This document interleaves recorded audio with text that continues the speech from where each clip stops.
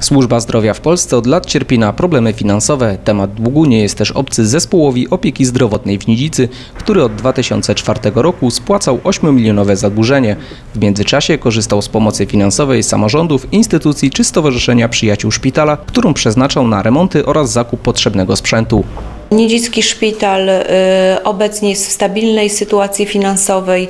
Przez ostatnie lata spłacał zadłużenie z lat y, ubiegłych. Y, W tym roku zakończyliśmy spłatę kredytu i możemy zacząć myśleć o inwestycjach. Nidzicki Szpital planuje wyremontować i zmodernizować blok operacyjny, który w gotowości musi działać całą dobę przez wszystkie dni w roku. Z myślą o zwiększeniu swojej oferty w pomieszczeniach podawnej kuchni powstanie dzienny oddział rehabilitacji.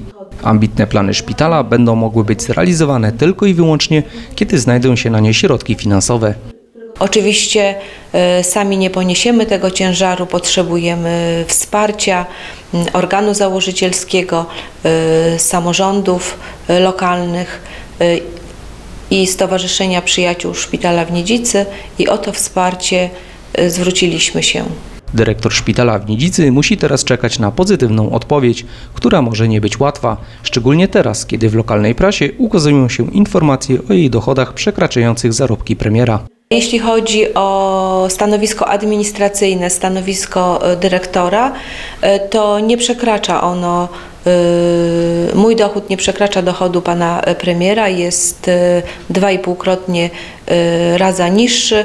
Y, To zostało wszystko szczegółowo opisane y, w lokalnej prasie i nie chciałabym teraz używać cyfr, bo dokładnie nie pamiętam.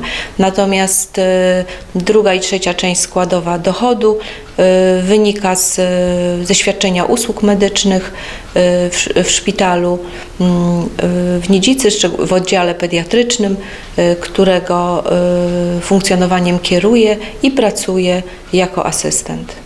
Dodatkowe pół etatu, jakie dyrektor pełni na stanowisku kierownika oddziału dziecięcego, wynika z problemów kadrowych Nidzickiego Szpitala, który od dłuższego czasu poszukuje specjalisty mogącego objąć tą posadę. W przypadku rezygnacji dyrektor Anny Osłowskiej z dodatkowych zajęć konieczna byłaby likwidacja oddziału dziecięcego.